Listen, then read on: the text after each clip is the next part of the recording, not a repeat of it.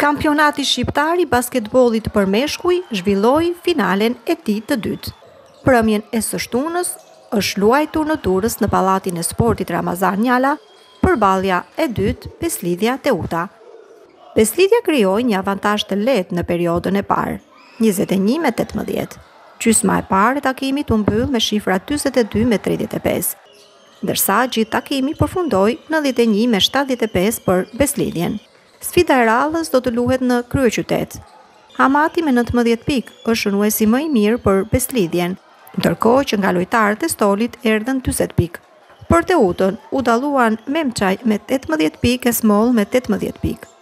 Skuadra kampione do të shpallet ajo që fiton katër nga shtatë ndeshjet finale të play-off-it, gjë që do të thotë se ka ende sfidë të gjatë përpara.